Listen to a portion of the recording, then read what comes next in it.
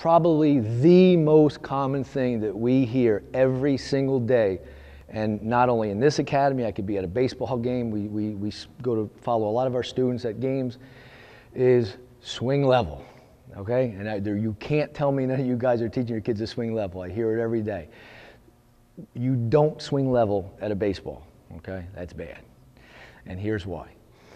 Basically, when you go to swing level, no matter how hard you try, okay, and I don't want to, I, I hate never or impossible, but when you try to swing level with your hands, if you notice my bat is slightly elevated downward.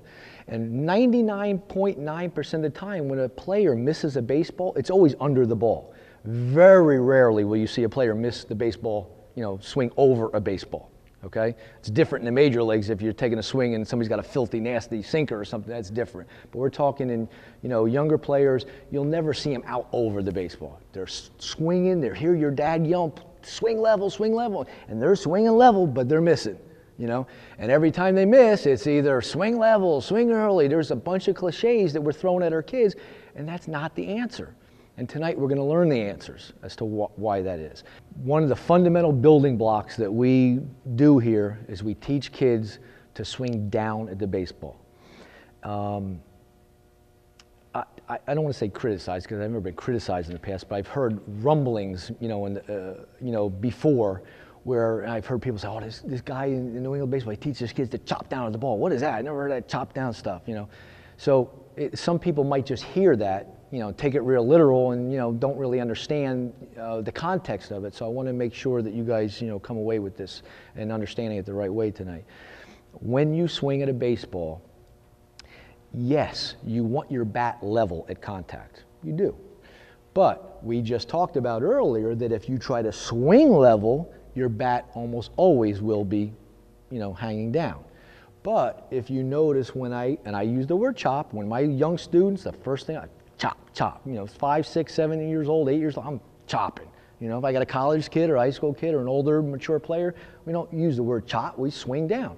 But sometimes you need little dramatic, you know, hook words with very young players, something that they could sink their teeth into and remember. So if you watch me chop, if you will, down at the baseball, there's my level bat. Okay? So, yes, you want the bat level at contact, but how you get it level is by swinging down to the baseball, not by swinging level. So every time you tell your kid to take a level swing, most of the time he's missing, he's fouling, he's popping up, he's hitting that ball down the line. You need to learn, teach him to swing down through the baseball. And I'm going to elaborate a little bit more on this, and I don't, I don't want to overcomplicate it, but this really is important. And again, I'm, I'm, I probably wouldn't talk like this to a five year old, okay? But I would to like an eight or nine year old, okay? So if I'm telling little Johnny to swing down and he swears he's swinging down, but he's still kind of popping up or hitting lazy fly balls up, you know, sometimes you'll see a little frustration in his face. So I'll stop and I say, John, I want to show you something, okay? You know what? You are swinging down, but I want to show you something. So I'll say, you know, Johnny, am I swinging down right now? He goes, the first thing he wants to say, he knows this is the wrong way to swing. So he goes, no. I go, what do you mean, no? I said, aren't my hands going down? Yeah. Is my bat going down? Yeah. Well, then I'm swinging down, right? Yeah, I guess so. I go, okay. So I said, based on what I just taught you, isn't this the right angle, you know, the way to swing? Yeah. Okay, so if this would be the best way to swing, this is probably the worst way, right? Yeah. I said, okay, so in between the best way and the worst way are a lot of different angles, you know, that we could be swinging at, right? Yeah.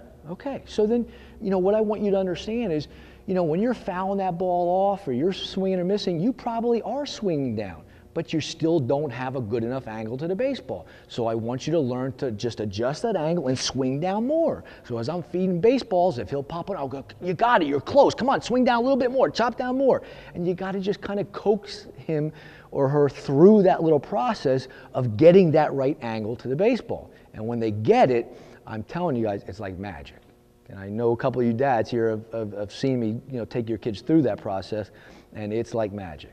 Okay, so, you know, the thing about my style of teaching, and why I think this video is going to be a, a little unique, is, you know, I try, I, I get, I have a lot of these little stupid mottos, but one of my mottos is, and these guys have heard it a thousand times, is I'm trying to teach, you know, I'm talking to the student now, I'm trying to teach you how to teach yourself how to hit. Okay? So another motto I have is, what did it do? What does it mean? And how do you fix it? And my students are sick of hearing it.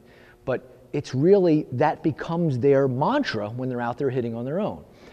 When I say, what did it do? Meaning, what did the baseball do? That baseball is going to teach that student every time he swings at it what he did right and what he did wrong in that swing. Okay?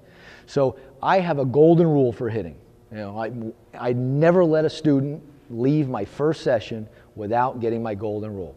And my golden rule is whenever you swing and miss, you pop it up, or you foul it back, it's because you didn't swing down to the baseball. Golden rule. I, I tell all my students, I said, listen, if for some reason I never see you again after today, that is going to be the most important thing you ever learn for hitting. And I, I can confidently tell you, it's, uh, you'll, Vinny will testify, it doesn't matter through college, through professional baseball, that rule is the most important rule that you'll ever learn for hitting. Okay? So again, little Johnny, I feed him a baseball, he swings and misses. Johnny, what does that mean? I didn't swing down. Okay, come on, let's go, fix it. Toss him a baseball, he swings out a little bit more, he pops it up. I go, okay, good, that's better. Now come on, a little bit more, a little bit more. Feed him a baseball, boom, line drive. And the light goes off, ear to ear smile. You know, so what I'm teaching him to do is, you know, every time he swings at that baseball, he's going to understand what just happened. What did that baseball do? What does that mean? And what, what's the fix? So when it comes to contact, we st- and I probably was a little out of order, but you know I started talking about power and where your power comes from early on in the seminar, and I probably should have saved that for a little later.